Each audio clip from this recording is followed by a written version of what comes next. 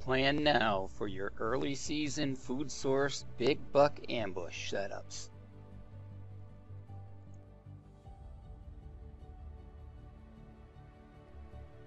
It's not that difficult to do, and it only takes a few hours of your time from start to finish. Now is the time to be creative and think outside of the box.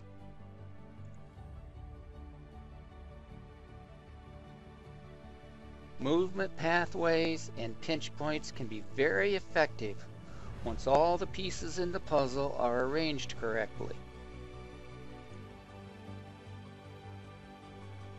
I've been creating effective buck killing hotspots for several years, and as you can see, they use them often. And just like fish that relate to structure, so will your local bucks the features that you can build on your property. Don't forget the water sources, they can be a great attraction.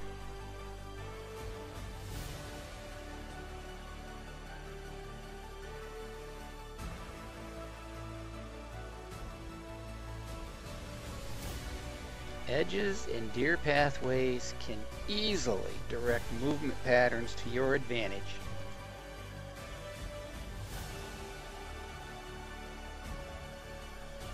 I transplanted that cedar tree several years ago and it acts as an activity hub in this food plot. Should you choose, let it go so he can grow.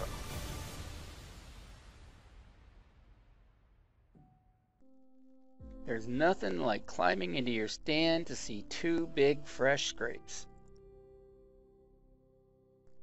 So here's what you need and how you get there. First off, you're going to need a plan using these basic critical elements. Number one, a secluded, attractive destination food source, ideally an existing comfort zone with a water source, focal point scraping and rubbing tree post as an activity hub. Don't worry if you're starting out fresh. It may take a few years of history and hierarchy for mature bucks to become comfortable with the setup. Number two, two or more known established bedding areas within 60 to 120 yards of the destination food source. Number three, secluded access that gets you into your hunting set without bumping deer or tipping them off from your minor scent drift. This will take some planning, so choose wisely. Here's an example of my food plot hunting setup. As they say, failing to plan is planning to fail. Your secluded access separated from bedding relies on you having better bedding areas located far from your access route.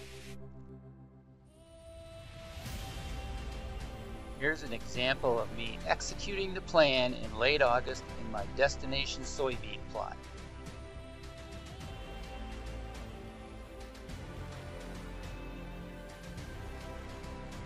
Sure helps to have it rain just as I'm finishing putting the seed down. Now, stay out and away from that food source until hunting conditions are right. This takes some discipline.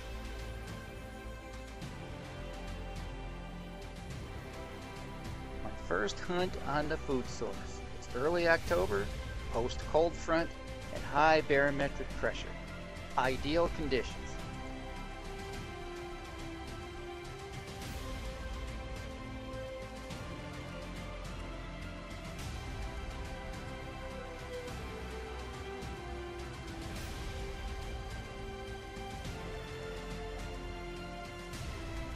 Wow, what a first hunt it was.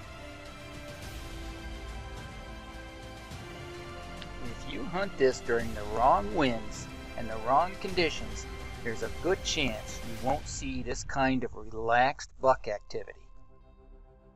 You must believe you have so much more to do with this than what you really think. Early October of 2018, the first year I mowed paths in the food source, I took Pretty Boy on October 4th. Late November of 2019, same food source, second year mowing paths, and I took this really nice 8 point. October 2nd, 2020, same soybean food source, third year mowing paths. I took this beautiful 10 point. And mid-November of 2020, I took this beautiful 11 point on the same food source walking down the paths. Thanks a lot for watching, and remember this, if you can envision it, you can accomplish it.